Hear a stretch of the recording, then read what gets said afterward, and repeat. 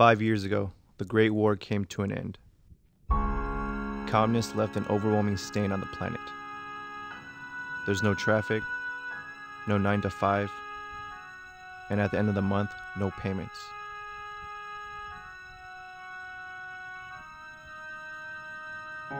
Food and water is next to impossible to come by. In this world, people are willing to kill for a loaf of bread.